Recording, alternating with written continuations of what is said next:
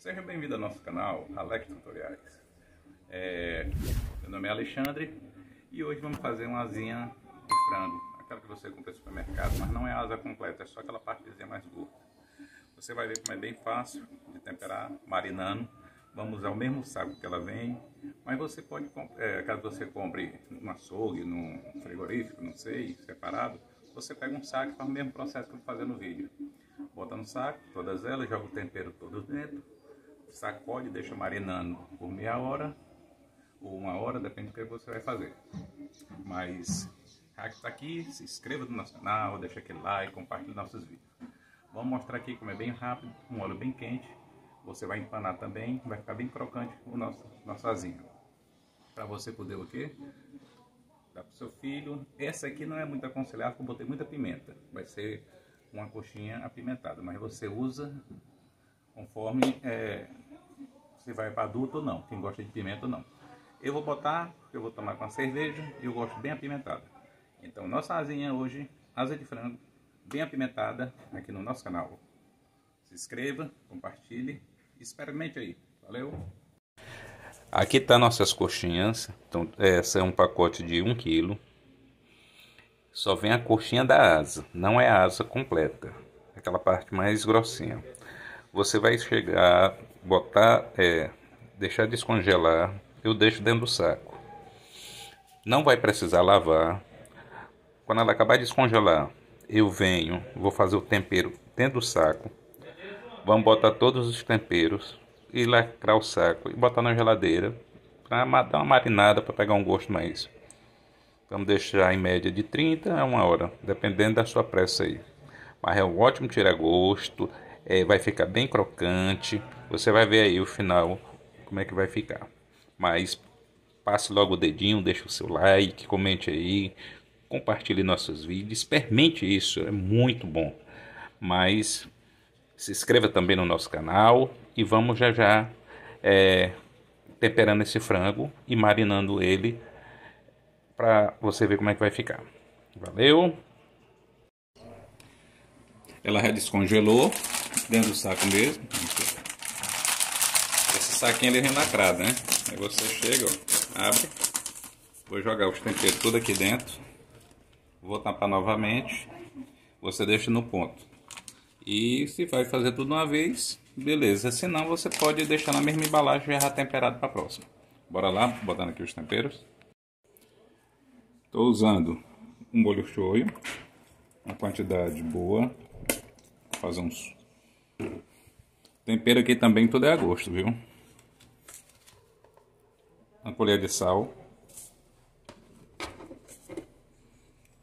Alho, estou usando o alho triturado. Assim. Opa, caiu aqui. Um pouco de alho triturado. Vamos colocar o, uma páprica picante, que a gente vai fazer esse frango bem picante. Mas essa pimenta aqui é páprica opcional, viu? Também pimenta calabresa.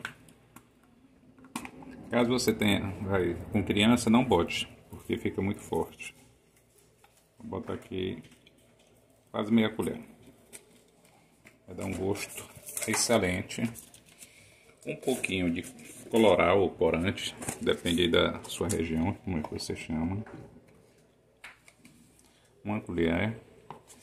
E tá pronto, não vou botar mais é pimenta do reino não. Eu ia botar a pimenta do reino, mas eu botei a pimenta calabresa.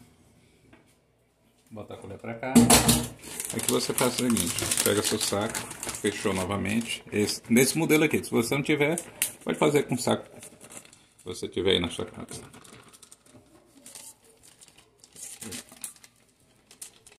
Aí no saco mesmo, você começa a misturar todo o seu tempero. Misture bem.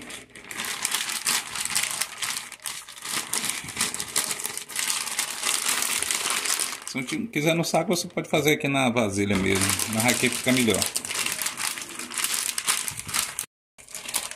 Como é que ele ficou. Aí você vai tampar novamente o saco e deixa marinando aí uma hora, leva na geladeira.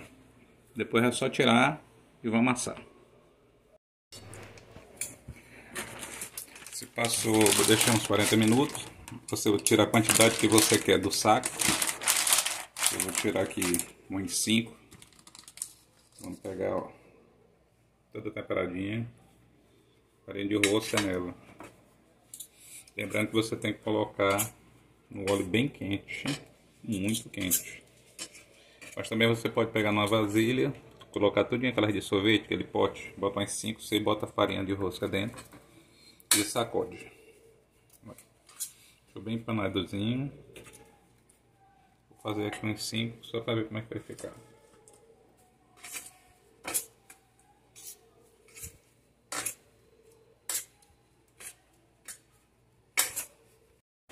Acabei de empanar, fiz oito pedaços, é o que eu vou querer.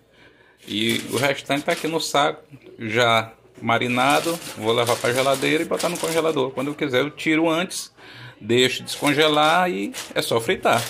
Também você pode empanar com ovo, eu só estou empanando com farinha de rosca, mas você pode empanar, passa no ovo, passa na farinha de rosca, passa na farinha de rosca, no ovo, no ovo fica à sua vontade. Valeu? Vamos lá para nossa fritada aqui, como é que vai ficar nosso frango, o óleo está bem quente, ó. sempre com óleo muito quente. Deixa aí, ó.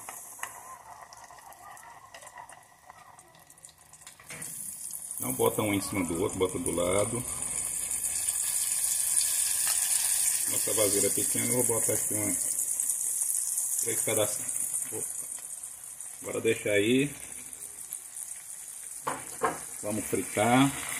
Você vai ver como ele vai ficar bem crocante. Show de bola aí para você fazer no final da tarde. Do jeito que você quiser, para almoço. Passaram 5 minutos, Tá sequinho, bem empanado. Deixar mais uns 5 minutinhos para ele ficar bem assado. E ele vai ser acompanhado com molho barbecue um show de cebola caramelizada. Esse aqui.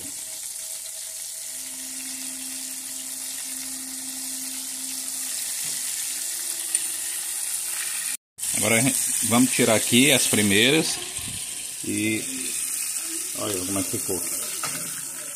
Vamos botar no papel toalha para escorrer. Olha. Uma delícia.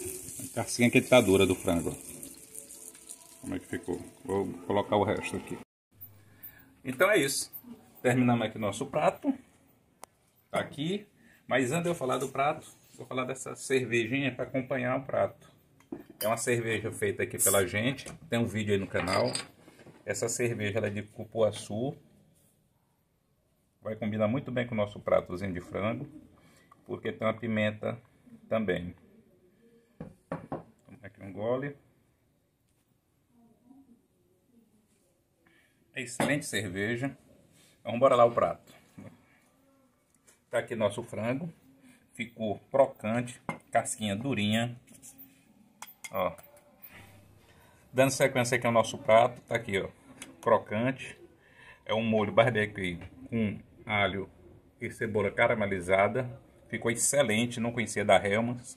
Muito bom. Encerrando aqui o nosso prato, antes que eu me esqueça, um grande abraço ao meu amigo César do, da Universidade Federal do Delta do Parnaíba. Valeu, César. Obrigado aí pelas algumas dicas aí que eu estive na sua casa essa semana comendo aquele camarão delicioso. Grande abraço a todos. Ficam com Deus. Até nosso próximo vídeo. Valeu.